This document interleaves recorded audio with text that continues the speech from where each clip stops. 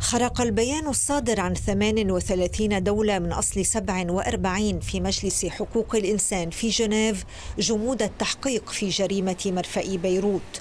واستنادا إلى أوساط قانونية متابعة فإن عدم التزام الحكومة اللبنانية بما طلبه المجلس لقيام تحقيق سريع ومستقل وشفاف سيدفع إلى إعادة البحث بالمسألة في الدورة المقبلة في يونيو المقبل. إذا الحكومة تجاوبت مع هذه الدولة نحن بنكون نحن وأهالي الضحايا وصلنا حقنا أنه رجع تحرك التحقيق اللبناني. ماذا وإلا على نفس الدول اللي وقعت واللي أطلقت هذا البيان أن تتحمل مسؤوليتها وهي بطبيعة الحال ستتحمل مسؤوليتها إعادة تقييم الموقف اللبناني ومن ثم التجاوب آه، وهذا ما نطمح إليه وما نأمله التجاوب مع مطلب تشكيل لجنة تقصي حقائق.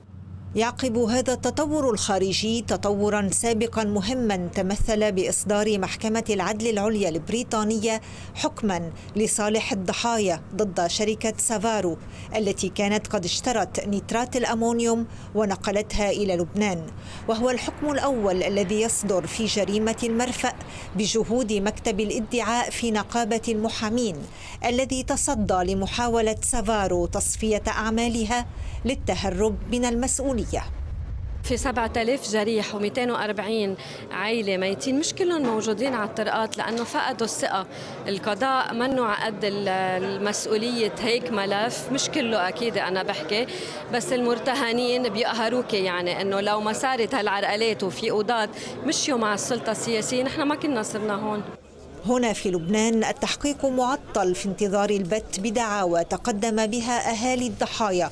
ضد مدعي عام التمييز القاضي غسان عويدات لتدخلاته في عمل المحقق طارق البطار مطالبين بعودة الأخير إلى عمله. وسط جمود التحقيق اللبناني في جريمة مرفأ بيروت خطوات جدية لتحريك تحقيق دولي. ولكن النتيجة غير مضمونة إلا بإرادة أصحاب الحق في جريمة كبرى تتداخل إيرادات محلية ودولية لطي ملفها.